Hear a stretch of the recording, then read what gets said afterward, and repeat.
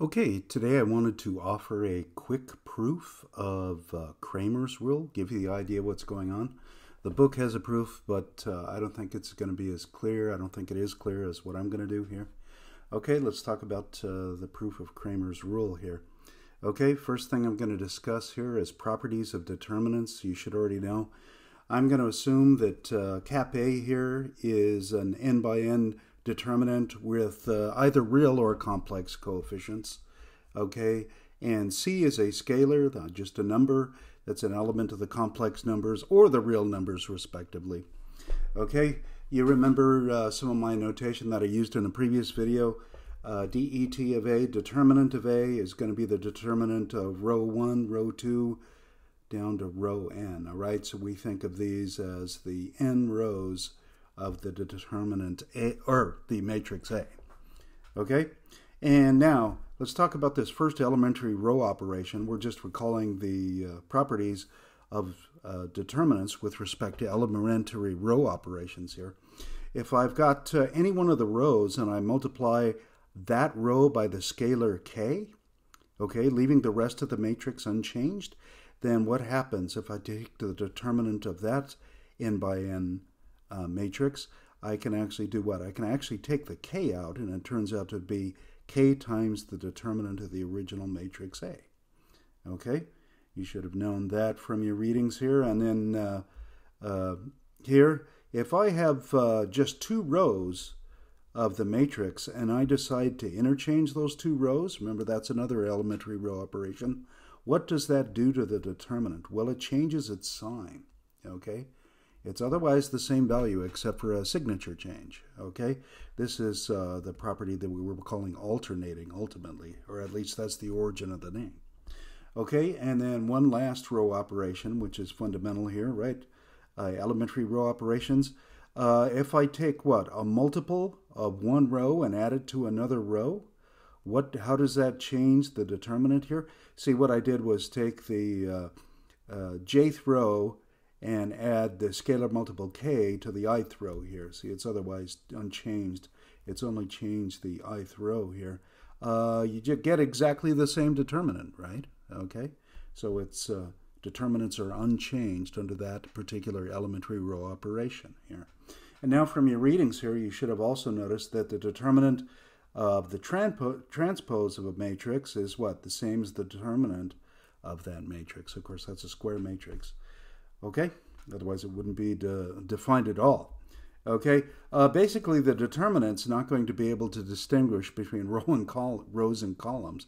I could have C1, C2 down to Cn here and actually have all the same properties where the C's here stand for columns instead of rows. Okay? And one last property here that's actually not going to come into play in this, but we're throwing it in for the sake of completeness. If B is another n by n uh, matrix, then the determinant of the product of A and B is the product of the determinants. So that's a wonderful property, isn't it? Uh, therefore, what uh, that would also be the uh, determinant of B times A. So that notice, even though A and B may A times B may be different than B times A, right? Because um, matrix multiplication is not generally commutative, the determinants will still be the same. Interesting. Okay? All right. All right, but this is the property I really want to focus on right now, okay, for Cramer's rule. Okay, because of that property 4, basically dealing with the transpose of the matrix instead of the matrix, uh, the properties 1, 2, and 3 apply to elementary co column operations also. Okay, so instead, if I multiply a column of the matrix by a scalar, I can bring that scalar outside the determinant. Okay. Uh, if I add, uh, if I interchange two columns of a matrix and then find the determinant, that would be what? The negative of the determinant of the original matrix. Or if I add a multiple of one column to another column within uh, the matrix, that will leave the determinant unchanged. Okay, so I'm just saying all these operations uh, apply to columns instead of just rows. Okay, so that's kind of nice. We haven't dealt with uh, column operations very much here, but uh, we're going to right now. Let's take a quick peek on this. Let me show you how Cramer's rule works then. I'm talking about proving Cramer's rule. I'm basically going to be proving it by an example because you'll be able to uh, extend this idea in your minds very easily here. So I'm going to take this particular system of three linear equations and three unknowns, the unknowns being x1, x2, x3, and c1, c2, c3 are some constants, and the rest of these you can see are coefficients here on the various x values. Okay, so this is the way I'm going to write it here. Notice that we could also write this as a matrix equation, where I've got this 3 by 3 matrix here being multiplied by this column vector equaling what? That column vector here. This would be the column of unknowns. This would be the column of constants, okay? And this is what we were calling the coefficient matrix. I will call that uh, A, okay, since uh, I had uh, little a's there, I would call that thing uh, cap A. So I'm assuming those are either real or complex 3 by 3 determinants, okay? Or matrices, matrix. Alrighty? So that's our system here. So we want to look at this. Now, let's uh, think about some things here. I just want you to consider something real fast. Okay? Now I've got vertical bars here indicating that I'm taking a determinant, right? Okay, so this is a determinant of what? The uh, coefficient matrix almost, but do you notice down this first column I have what? x1 factors. Now think about that just for a second here. Now I left a little open gap here because I'm going to write something here. Notice that I've actually taken what? The first column of my coefficient matrix and multiplied it by a scalar, the scalar x1 in fact. Now, uh, my properties of determinants tells me I can actually factor out that x sub 1. So right here where I've got equals, I'm going to write x sub 1 times the determinant of a. Okay, so these two should be equal. Now, I've also got another equal sign written off of this one here. You guys see what I did? How did I got from this matrix to this matrix? Think what's think what's inside the vertical bars here. I actually did this. Um, I took x2 times the second column and added it to the first column. Okay, and I also did what? Added x3 times the third column and added it to that result. Okay, so I actually did what? A couple of those operations, but what should be true? The determinant should be unchanged by that operation, right? So I have a valid equal sign here, okay? So x2 times this column added to that, and what? x3 times the third column added to that also, okay? So that's what I've got written here. Now you should recognize this thing. What is that? Well, wait a minute.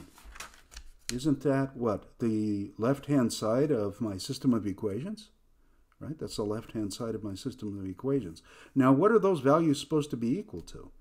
Why, they're supposed to equal C1, C2, C3. And notice these are unchanged. I've only been monkeying with the first column.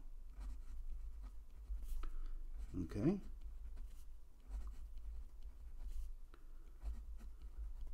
Now the important thing is what? The first and the last. These two are equal, right? These two. Okay?